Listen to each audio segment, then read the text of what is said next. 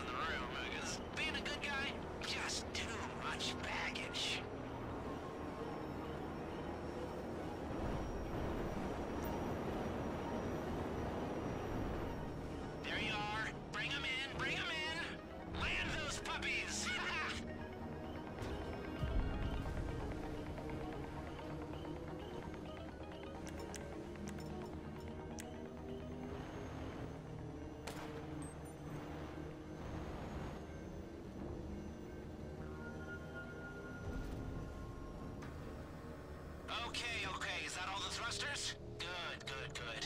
There'll be a copy of Clifford somewhere, right? Or a beta, repackaged, stripped for assets. He'll come back. But we did good today.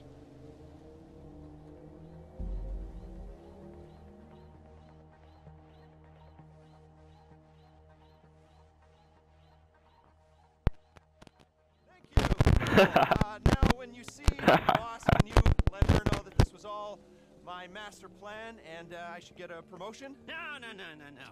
We should have let you fry. you let me fry? Oh, shut up!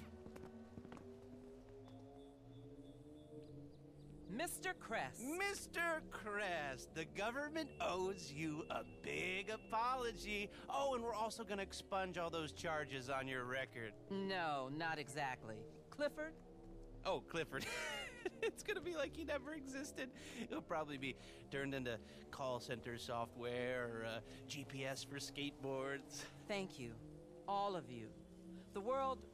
The world owes you a massive favor. Oh, um, well, we like cash. Understood? Oh, and uh, those were all innocent mistakes, so let's just make sure the record says that. Thank you. There will be no record. 14, Mrs. Rackman? you brought Avon Hertz into the government. And these guys. And these guys. If I can, I will fire you. I'm protected class.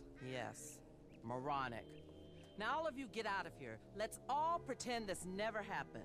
Mr. Crest, we'll send you the money. Thank you. well, that is just about enough apocalypse excitement for me. And here I was, thinking I could indulge in a little light larceny, you know. I gotta go lie down someplace quiet and think about happy thoughts and simpler times. You know, back when I only had to worry about feeling lonely because girls didn't like me, you know, like, uh, even though I hated it at the time, I actually really miss high school. I can't believe I'm saying that, but, but I do. Well, this has been uh, horrifying, really, really horrifying, but uh, also pretty fun. So, bye bye.